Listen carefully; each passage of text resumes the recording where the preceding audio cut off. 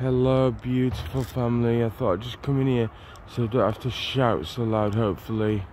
Um, just wanted to come on here and encourage you and just remind you again that there ain't nothing too hard for God. The things that are impossible with men are possible with God. So, just that thing you're going through, God will get you through it. He said, I'll never leave you, I'll never forsake you. I'm gonna I'm gonna, Lord, help me to speak this psalm word for word. We will bless the Lord at all times. His praise shall continually be in our mouths. Our soul shall make our boast in the Lord. The humble shall hear thereof and be glad. O magnify the Lord with us, and let us exalt his name together.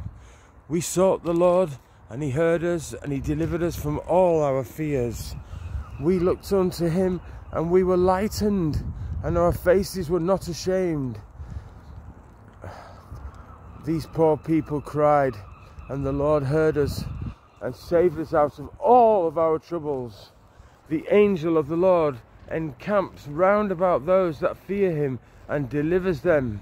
O taste and see that the Lord is good. Blessed is the man that trusts in him. O fear the Lord, all ye his saints for there is no want to them that fear him. The young lions do lack, and they suffer hunger, but they that seek the Lord shall not want any good thing. Come, ye children, hearken unto me, and I will teach you the fear of the Lord. What man is he that desireth life, and loveth many days that he may see good? Keep thy tongue from evil, and thy lips from speaking guile. Depart from evil and do good Seek peace and pursue it, for the eyes of the Lord are upon the righteous, and his ears are open unto their cry. The face of the Lord is against them that do evil, to cut off the remembrance of them from the earth.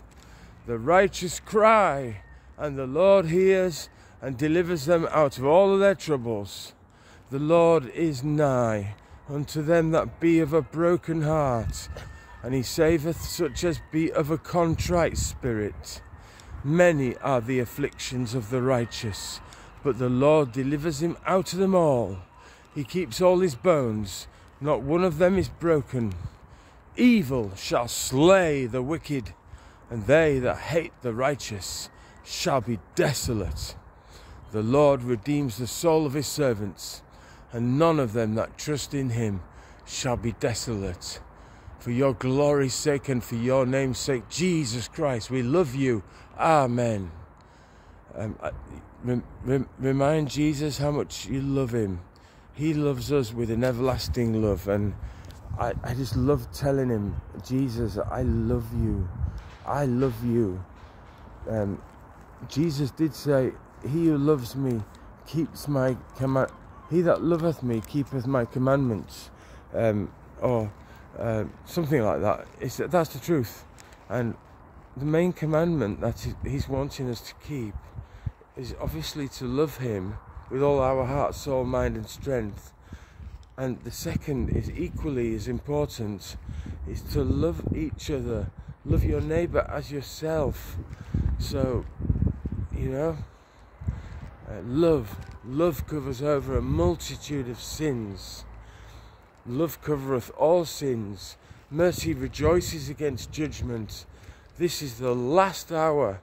And people, um, I know we're to disciple people and stuff like that. That's not my job, by the way.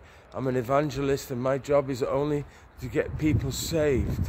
And um, if I was you guys, whatever ministry you have, um, maybe your ministry is in discipling people. That's good because some somebody needs to do that. But um, the main thing and the most important thing for us to do right now is to lead people to Jesus so that they get saved, so they get sealed. And even if they go off and do what I did and, and live a life of